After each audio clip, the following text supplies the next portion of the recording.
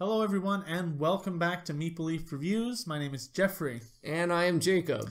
And what are we doing today? Today we are doing our prologue to our top 25 of all time. Now, And those are board games, not drinks. now why only 25? because we are inadequate.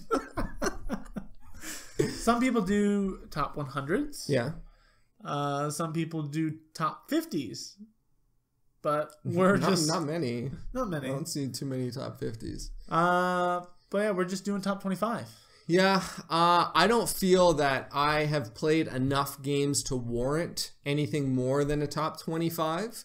And that's just us as gamers uh, new to the hobby. I've only played a little more than 300 different games, I think. Yeah. So I feel like 25 is a good good range that I feel comfortable saying, hey, these these 25 games are really good. Yeah, I think I'm right about in the same boat as you. I've played, you know, somewhere between 300 to 400 Yeah.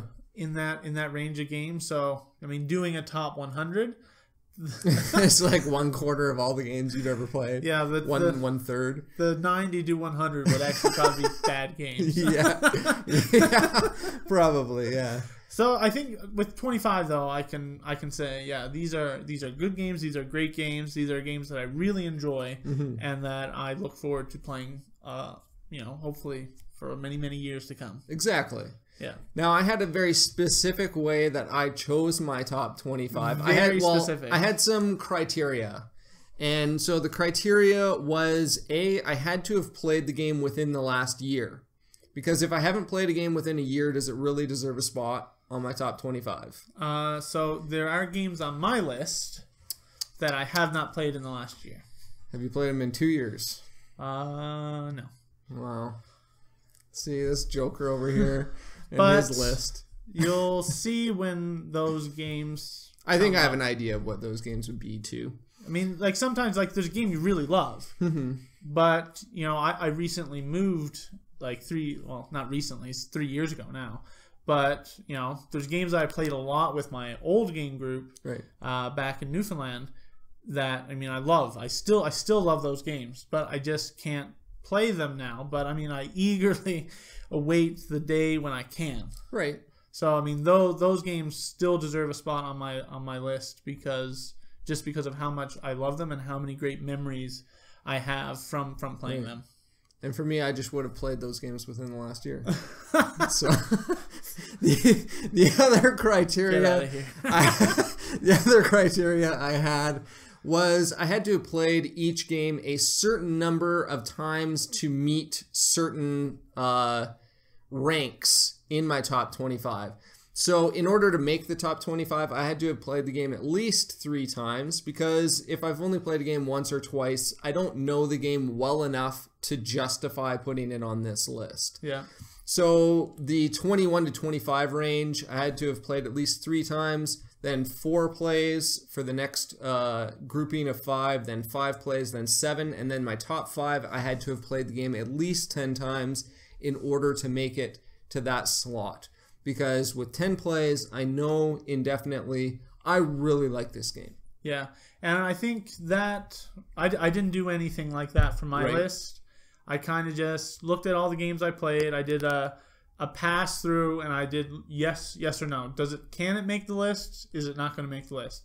And then I broke that. You know, I had like maybe fifty games that were could could make the list, and then I just kind of went through each one and you know just thought about each game and made sure that okay, it's on the top twenty-five, and then I went through and started ordering ordering them, Right. and it, it kind of ended up that you know the games are, are that are in my top twenty-five, I have played a lot more. Right.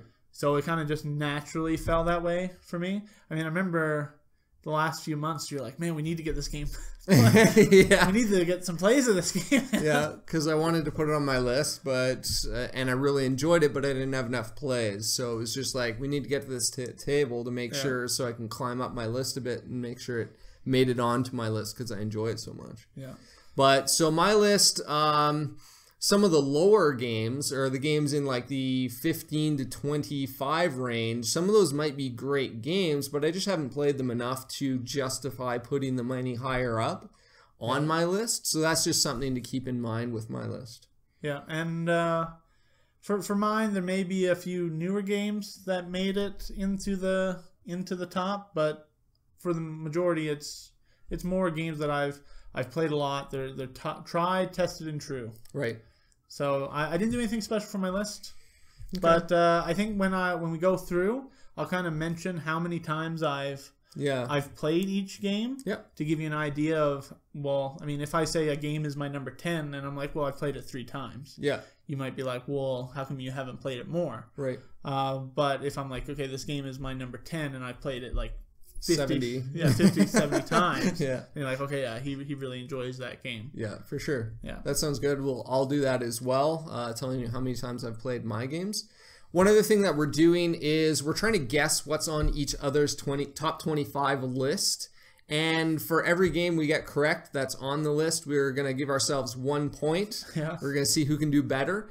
And if you get it correctly within the uh, section of five, so the 21 to 25 range, if you guessed a game would be in there and it is in that zone, not necessarily the exact number, but in that zone, you get a bonus point. Yeah. So a potential 50 points can be had. Who's I think win? I think we'll be probably in the 30 range. Yeah. I think somewhere somewhere in there. I but we'll think see. I think you're going to do better than me. I think so too because um, I know that you don't like any of the games I own for the most part. So Well- I can basically look at your games list and pick your top 25 whereas you're going to have to look at your game collection and my game collection and put together a top 25 Well, I mean, you cull your collection so frequently that I mean, you've eliminated a lot of the possibilities for me. okay.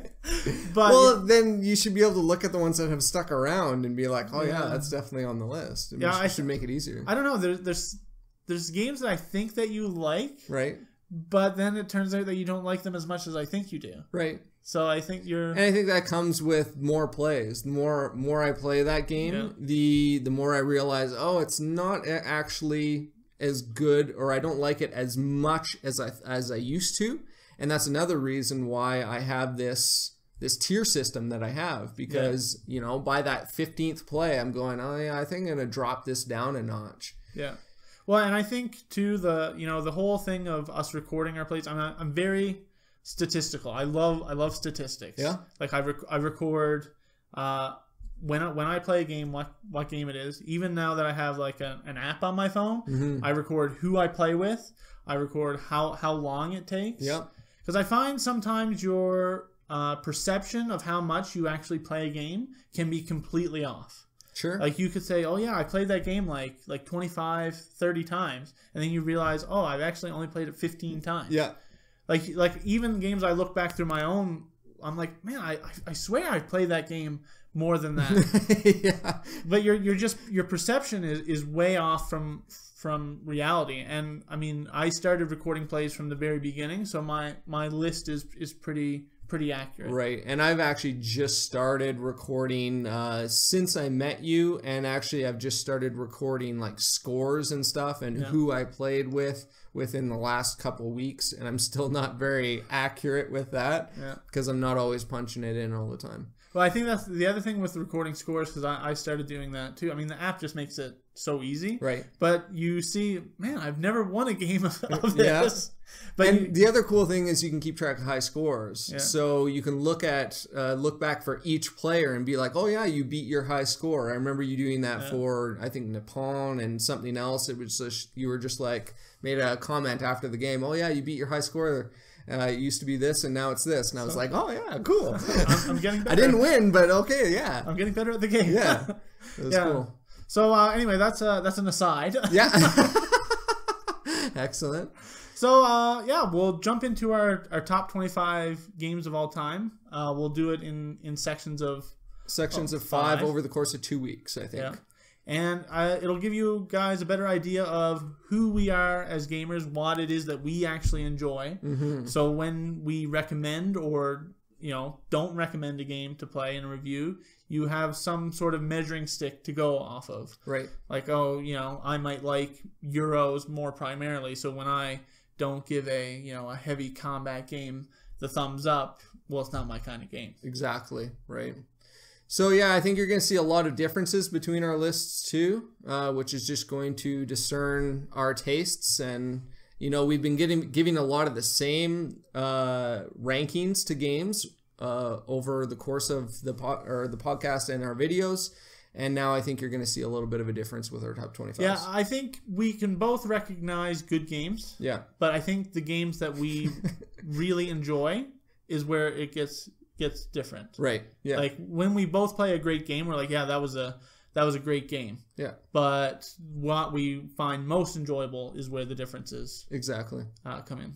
All right, so enjoy the upcoming top 25 lists. Uh, let us know in the comments if you agree or disagree. And uh, yeah, give us a hard time. All right. See you guys in the next video. Take care.